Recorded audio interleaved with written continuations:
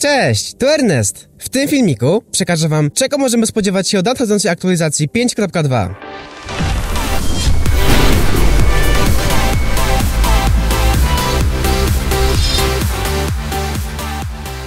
XDA Developers po raz kolejny zaskakuje porcją nowych wycieków. Jednemu z wydobywców danych na tym forum udało się przedwcześnie zdobyć plik instalacyjny Fortnite na Androida, który ma już gotowe pliki wersji 5.2. Dzięki temu, podobnie jak w przypadku chińskiej wersji Fortnite, udało nam się przewidzieć, co przyniesie nam prawdopodobnie już jutrzejsza aktualizacja. Niestety, nie udało im się odpalić poglądu skinów i tym podobne. Ale twórcy artykułu przygotowali dla nas czytelną listę nowo dodanych lub zaktualizowanych rzeczy. Jednak wszystkie nazwy są po angielsku. Dlatego listę w tle zostawię jaką jest, ale postaram się ją przetłumaczyć.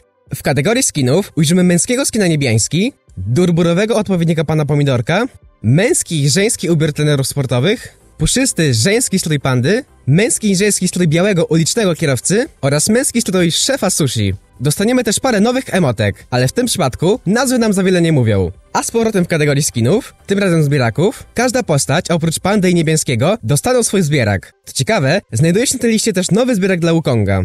Dalej, z wcześniej wspomnianych ubiorów, tylko niebiański nie otrzyma backblingu. W kategorii broni na liście znajduje się już znany nam ciężki karabin snajperski, nowa strzelba oraz railgun. Jeśli nie wiecie co to jest to ostatnie, to pokażę wam przykład z innej gry.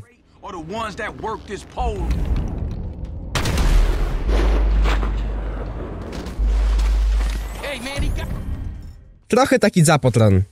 Kolejna część listy to tryby okresowe. Jedyne, które mnie zaciekawiły to Dziki Zachód z opisem Nie mamy tutaj wystrzałowej technologii oraz Gameplay Mutators, mutacje rozgrywki. Może to oznaczać jakieś dziwne zmiany podczas gry. Myślę, że nawet grawitacji. Z przedmiotów za to, jedynymi nowościami, o których nie słyszeliśmy już wcześniej, są fajerwerki w butelce oraz granat fala uderzeniowa. Ma się też pojawić nowa pułapka zamykająca naszą ofiarę w klatce. A w kategorii przedmiotów jadalnych ma się pojawić Hard and Heal i Movement Speed. Ten drugi możemy się domyślać, że będzie nam dawał przyspieszenie biegu, ale nie jestem pewien co do tej pierwszej pozycji. I to tyle z tych nowości. Mimo, że się znalazły one w plikach gry, to niekoniecznie oznacza, że od razu wejdą na pole walki. Dziękuję za oglądanie i do usłyszenia!